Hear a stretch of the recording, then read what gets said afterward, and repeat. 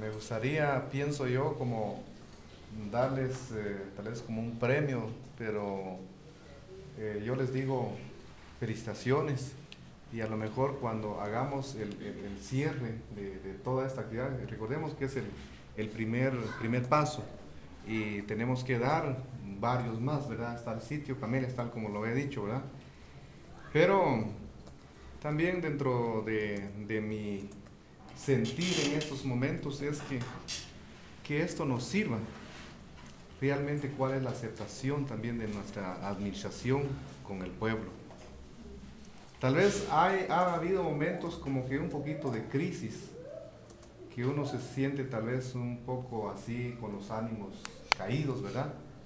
Pero aquí es donde nos fortalecemos y que lo podamos asimilar todos. Entonces que podamos, este, tal vez cabe la palabra decir hoy más que nunca, pues saber, como que estuviéramos en una cancha de fútbol y sabemos que podemos también este, empujar el balón para adelante. Si podemos empujar para adelante, hagamos goles, pues. ¿Verdad? Hablo en un término así, que, gracias a Dios, pues, estamos avanzando con, con el gobierno.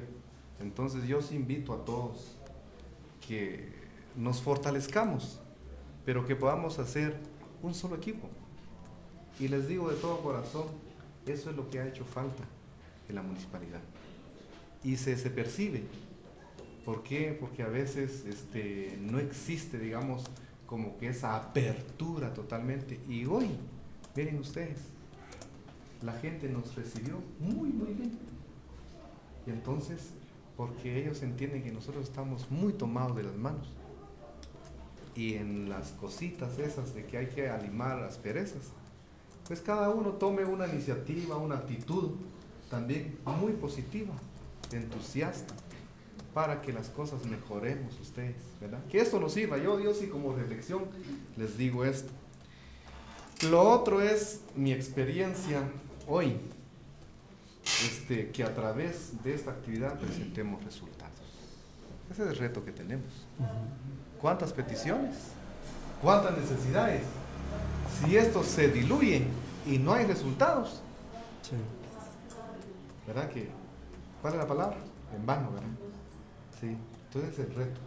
Hoy precisamente, y solo quiero poner de ejemplo, vino la persona este, de la que hablaban ustedes con toda la dificultad del caso por un accidente.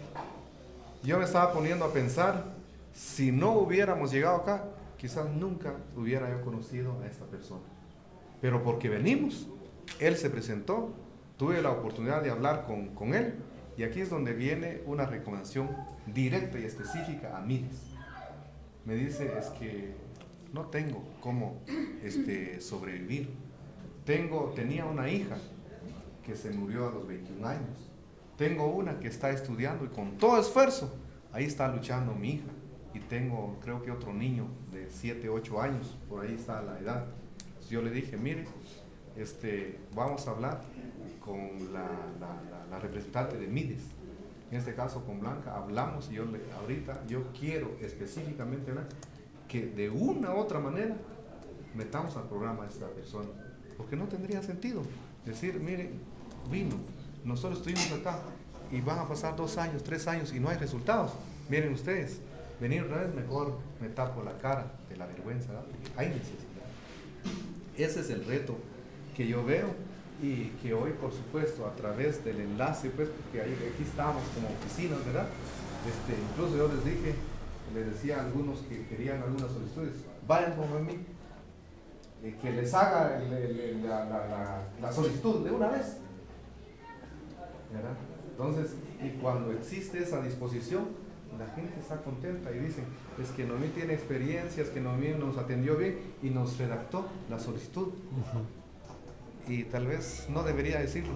En una ocasión, este, en la DMP, cuando teníamos otro director, le dije a, un grupo de, de, personas interesadas en un proyecto, vayan con el director de la DMP y él amablemente les va a hacer la solicitud.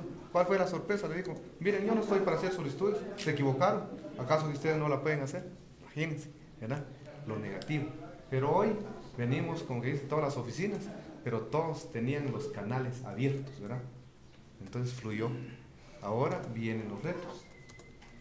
Hoy precisamente yo aprobé un proyecto acá en Chiquipul, no muy grande, pero ¿qué sentido tendría que estén pidiendo, este, presentando las necesidades? Pero yo digo, señores, no hay dinero, disculpen, pero no hay nada. No tiene sentido, ¿verdad? La gente va a esperar de nosotros. Así que lo que decía Dani, hay que tocar puertas allá y hay que exigir un poco. Eso es lo que nos toca ahorita. Por eso salir también, eso nos compromete. Entonces, eh, eso es lo que yo quiero decirles y nuevamente felicitaciones. Los que creen que podemos hacer cosas bonitas, pues nos motivemos más. Y los que no muy creían, pues aquí está el resultado, que gracias a Dios, positivo. Vamos a encontrar algunos tropiezos, porque la idiosincrasia de la gente de aquí Chipiacul podría ser el sitio, varía. De repente ah, estamos un poquito bajo, pero tenemos que ir caminando para adelante. Entonces, hoy, un éxito. Yo los felicito nuevamente y sigamos trabajando y pidámosle a Dios también que Dios nos ayude. Así que, señores, pues nos regresamos, pero con muchas cosas este, positivas en la mente, ¿verdad? Así que, buena tarde y gracias.